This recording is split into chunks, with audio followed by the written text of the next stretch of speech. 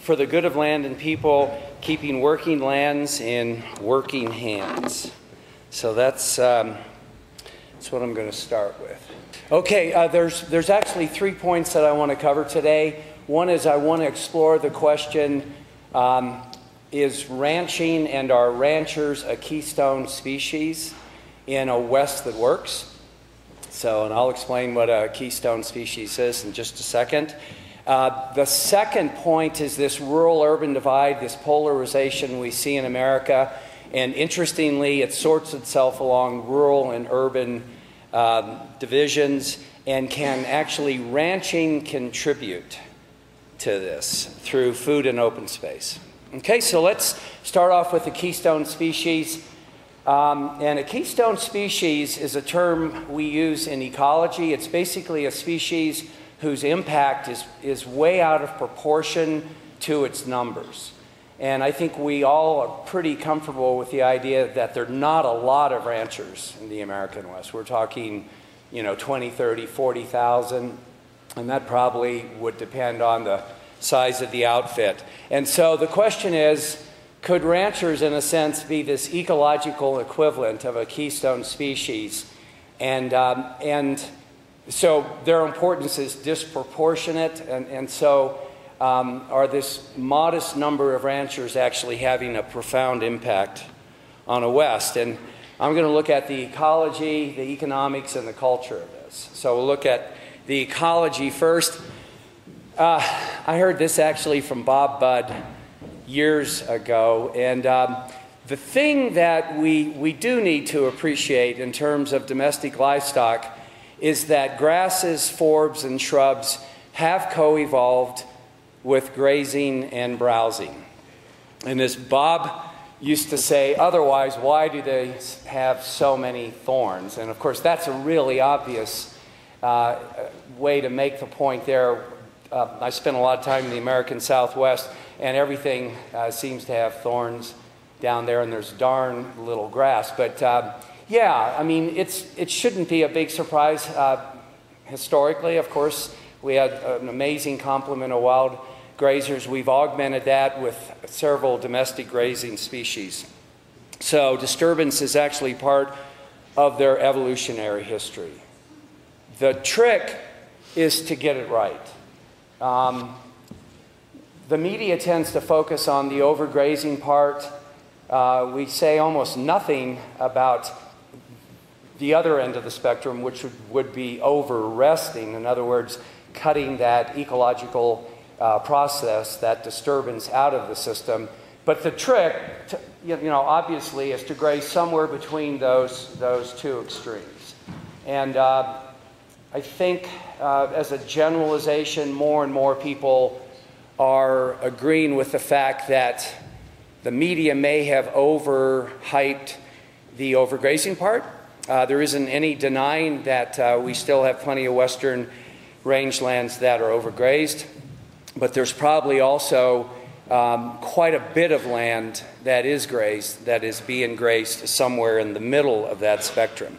Now, and I don't know if this is going to show up well, but there are hundreds of uh, scientific studies, empirical studies that have looked at the ecological effects of grazing.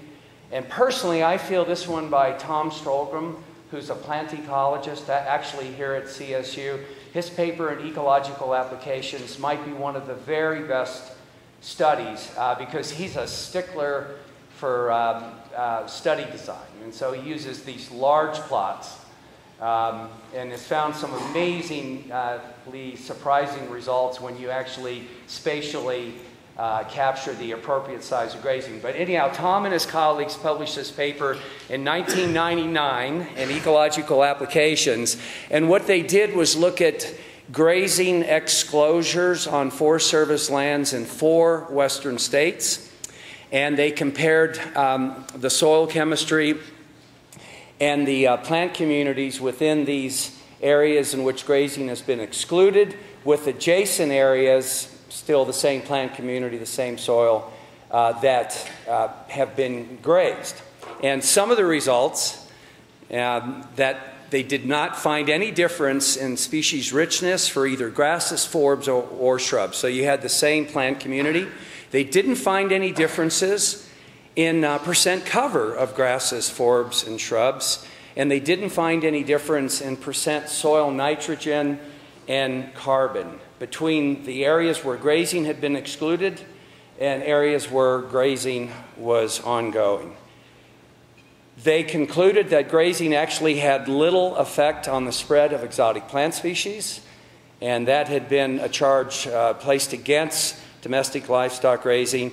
And they concluded as well that actually very few plant, plant species showed consistent responses to grazing or the absence of grazing. So this is, this is an excellent paper. There are probably people in the room who know Tom Stohlgren. He is not pro uh, domestic animals. He is not pro grazing. Uh, he's, he's, probably actually very pro healthy plant communities. Um, so uh, these are the type of studies that cause people to wonder about some of the sort of generalizations that the media tends to portray. Lots of other studies. This actually, I just pulled this out of a study that we did north of Fort Collins on livestock grazing, and we looked at the, the predator communities, um, the migratory songbird communities, and uh, the grass and forb communities on areas on working ranches, on protected areas where the livestock had been removed, and on the same, same plant community, the same soil type, on ranches that had been sold and houses put on every 35 acres. And what we found on these ex-urban rangelands were 23 species of non-native plants, and, and we're not obviously counting the cultivated plants around the houses themselves. Um, just 11 of these invasive plant species on the working ranches, and 17 of these non native invasive plant species on the protected areas that didn't have livestock. And if you know the watershed, the land uses, the players involved in it, basically what was happening on the protected areas is the managers had lost a management tool. And it, interestingly, after our study was published in Conservation Biology, the Division of Parks and Wildlife have reinstated livestock grazing on all that, uh, that 30,000 acres of state lands. And of course, the people on the small acreage properties, um, what, what you really find there, unfortunately, is overgrazing. And it's not intentionally, it's just sort of a lack of appreciation or, under, of, or understanding of what a couple of horses can do uh, 365 days a year on 35 acres. So. Anyhow, there's, there's lots of other things from the ecological perspective, but, but the evidence really does come out and support that ecologically ranching is probably a sustainable approach. Now, what about an economic uh, point to this? And this is actually a study that Andy Seidl did for all the counties in the state of Colorado. And what he did was come up with looking at county budgets, county and school district budgets, and then looking at the property taxes coming off these um, non-incorporated lands, in other words, uh, the rural parts of the county beyond the, the incorporated city limits. And he looked at um, land, uh, farm and ranch lands that now had houses on them, and he also looked at farm and ranch lands that were still in production. And what he found for the state, and he's, he's actually broken this down for each county, but what he found is for um, uh, rural lands that were in ex-urban development, small acreage properties, uh, the counties on average were having to come up with a dollar and 65 cents to cover the cost of county services and for the schools. And lands that stayed in agriculture, the county was actually creating a surplus because they were only having, on average, to come up with 35 cents uh, for county costs and to cover the cost of the schools for every dollar of property taxes. So if you take a thousand acres and you put it in houses or you keep it in farming and ranching, you can see one creates a deficit and the other creates a surplus. So from an economic point of view, it's really compelling, uh, you know, if you're fiscally conservative, to uh, try to keep land in food production. But it is increasingly expensive as well to um, farm and ranch, uh, which is not a surprise. And so everybody in this business uh, is looking for additional streams of revenue that can augment that traditional uh, component of raising livestock. Now, this is this sort of interesting uh, dichotomy where the answer, at least I think the answer to building bridges in the American West comes from. Ranchers ensure, well, well ranchers produce food and they tie down open space. And now that ecosystem services is in our lexicon, those open spaces, when they're well tended, are producing ecosystem services. Okay, so these are the things ranchers do. Um, and the things consumers want, of course, is food. And they, they really uh, covet open space. It's the most amazing phenomena, the, the most amazing unappreciated um, sort of trend today in the United States that our elected officials don't seem to fully appreciate. When, when Americans are given the choice to say, increase my taxes, like my sale taxes, so we can have an open space tax to buy open space, it's about two thirds of the time or more they say yes to it. And they say, please increase our sale taxes or some type of tax so we have a coffer of money to go out and conserve open spaces against uh, the onrushing development. Um, so consumers have really made it clear that they covet open space. And I think we're starting to increasingly appreciate these ecosystem services that they provide us. Now, ranchers, of course, the management focus on ranching is in livestock, right? So that's where that's what they're actually being compensated for.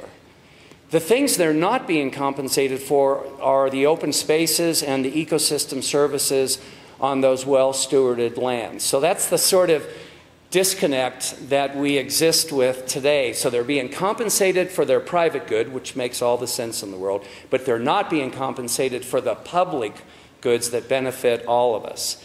And so increasingly, people are trying to develop these new markets so private landowners on well tended lands are actually being compensated for those ecosystem services and open space attributes.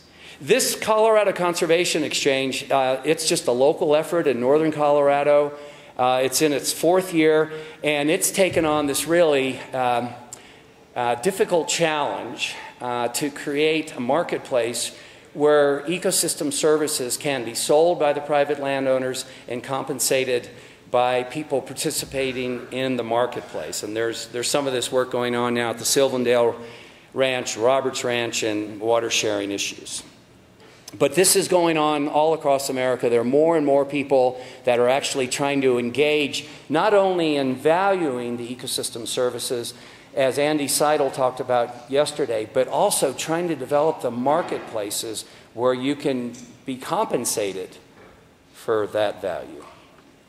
Okay, so that was from the ecological point of view and from the economic point of view.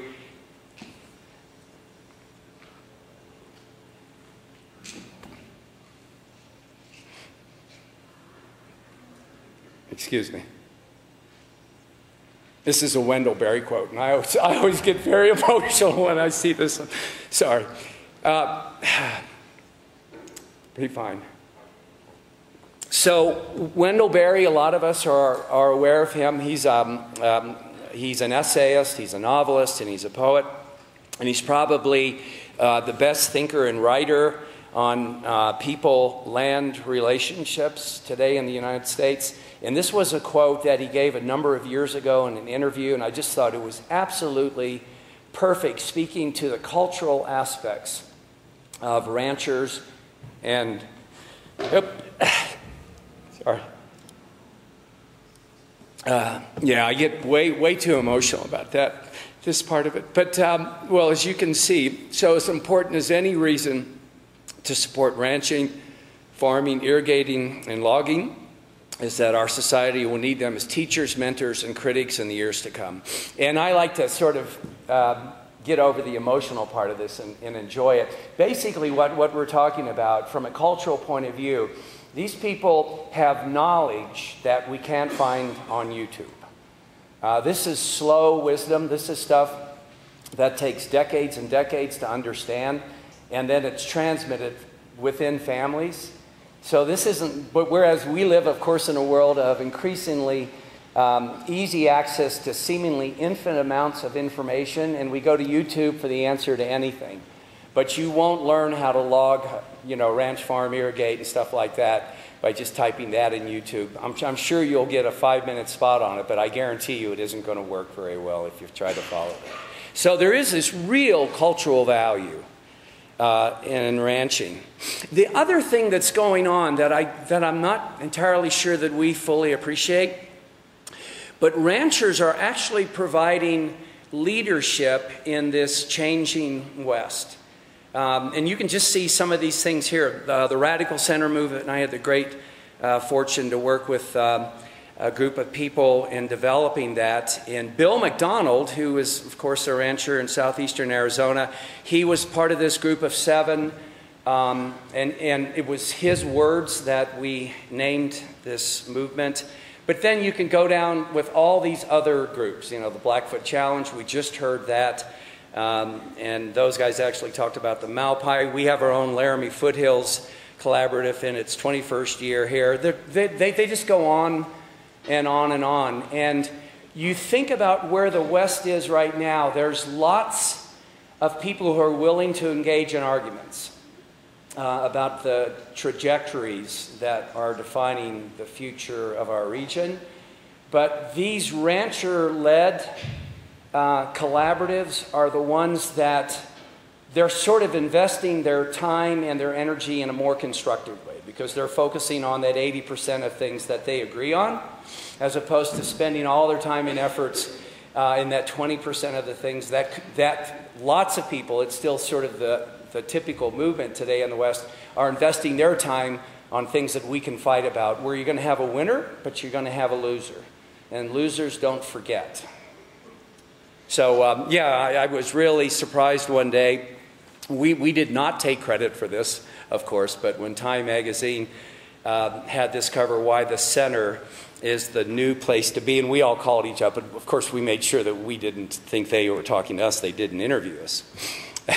so, so that's something about, do you think, uh, from a cultural, and economic, and an ecological point of view, do you think that, that ranchers would qualify as a keystone species? So we've pretty much covered the major uh, categories, um, you know, the human dimension, the economic dimension, the environmental dimension, and is there compelling evidence to suggest that actually ranchers, by, even though they are very few in number, are having a disproportionate impact? The second thing is, what about this polarized America that we live in uh, that's increasingly disappointed, um, I hope, for most of us. And this is what, again, the media will tend to do. After a presidential election, they'll have story after story about the red blue America. And David Brooks of the New York Times will, will posit his theory that Americans are simply resorting themselves so they can live close to like minded people. The more interesting thing about this to me, actually, is looking at the metropolitan counties versus the non metropolitan, so think rural counties. And what it shows you is the metropolitan counties tend to, with, with a few exceptions, they tend to vote blue, Democratic, kind of liberal. And the non metropolitan counties, the rural counties, tend to vote Republican, conservative, uh, that.